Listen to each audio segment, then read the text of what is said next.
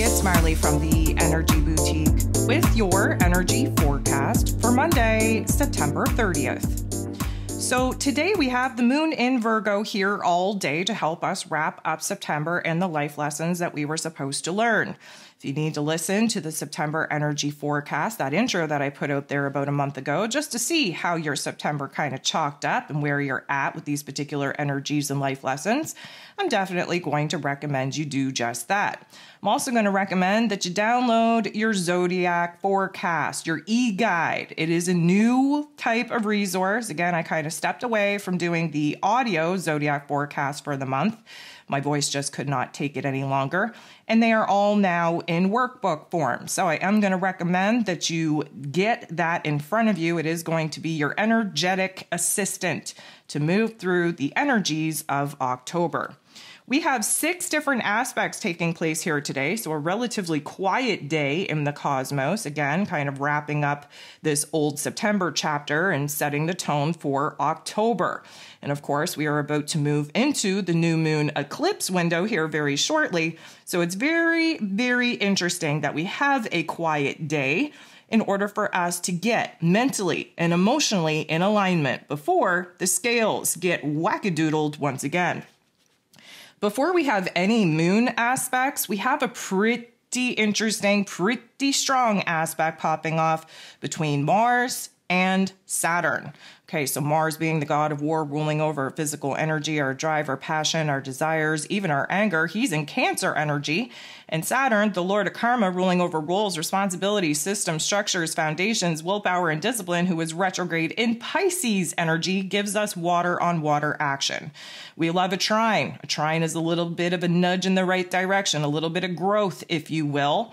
And because this is definitely putting us into being a little bit more realistic about our situation, our circumstances, we are starting to realize what we truly value, what we're focused on, what we want to fight, defend, and protect. Again, with Mars and this Cancer energy, we are looking to preserve more than we are looking to initiate.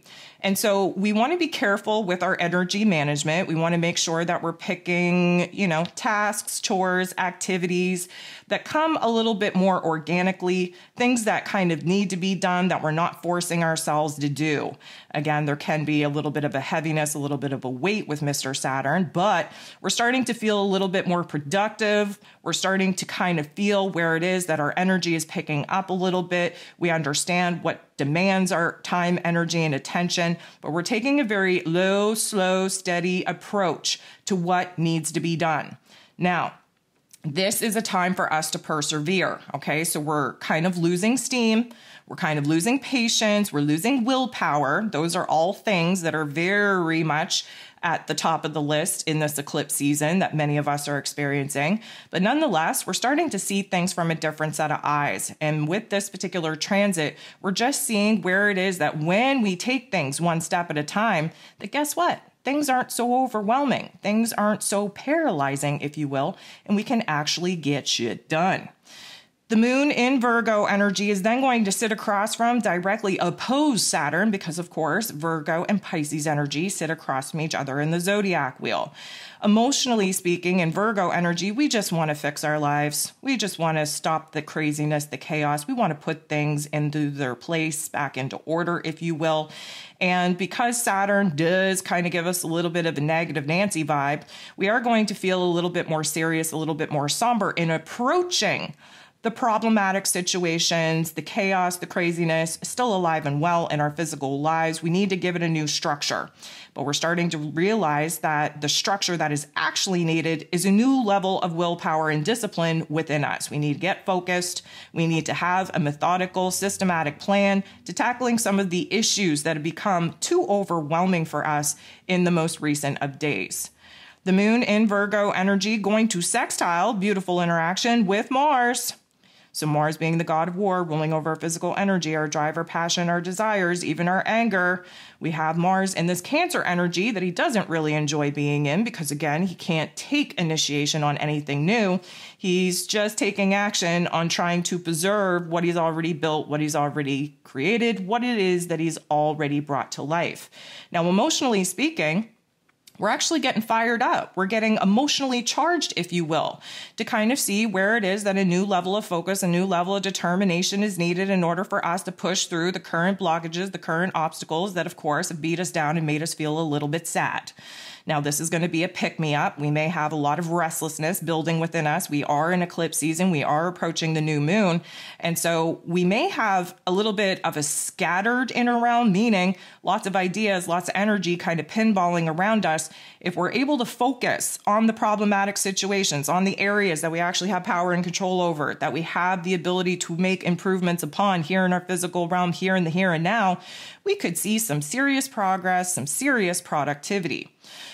The moon is then going to make an awkward interaction with Pluto, the great transformer himself, who is retrograde in Capricorn energy. This is going to highlight for us where it is that we are kind of beating a dead horse, if you will.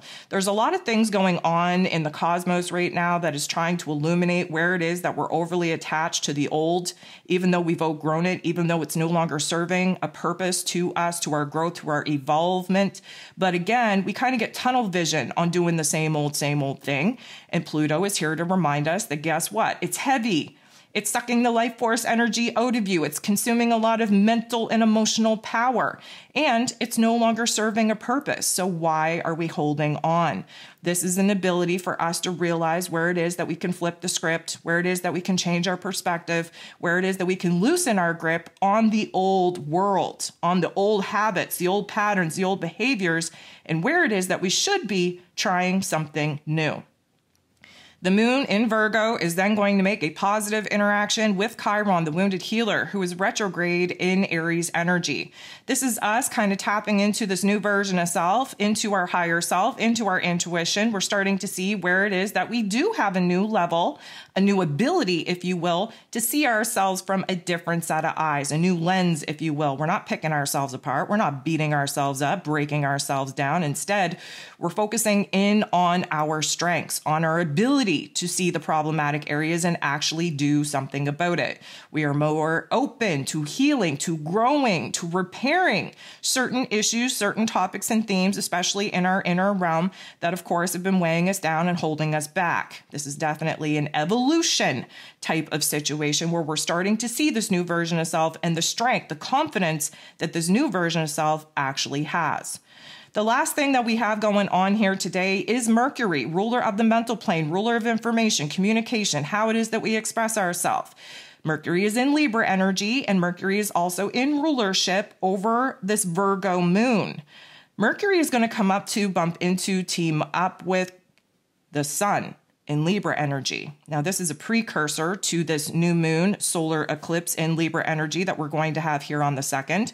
But let me just say that this is going to be a burst of energy in our mental plane. This is going to be a reset, if you will, on how we're seeing things. There's a sudden epiphany, a sudden amount of clarity, or a little bit more of an awareness about our situation, about our circumstances. You need to be very careful on how you speak here today, on what you're writing down on what you're actually sharing with people because your words have more of an impact now. It's almost like creating a spell. It's almost like you are saying something out loud and you are setting that particular intention into stone. For better or for worse, be very careful about how you speak and what you're actually capturing as far as your thoughts, your ideas go. Now, this is also going to be an aha moment on where it is that some of the details that we've been missing out on are starting to pop together, starting to connect, starting to make a little bit more sense, which has us replaying certain situations and circumstances, certain new discoveries, if you will. We're starting to see it from a different lens. We're starting to kind of, I'm going to say, soften up to it a little bit because, of course, we are in Libra season. This is a time to negotiate, to compromise, to kind of talk our way, charm our way back into good places, especially in relationship dynamics dynamics. So, this epiphany, this aha moment, this matter of fact, if you will, is going to set the tone for a certain plan, a certain strategy for us to actually move on and move forward. Again, we're not going to fully understand the plan, fully see all the details until after this eclipse event comes to pass, but we're starting to see the seeds, if you will, be planted of new ideas, new realizations, new epiphanies on where our time, energy, and attention is now needed the most.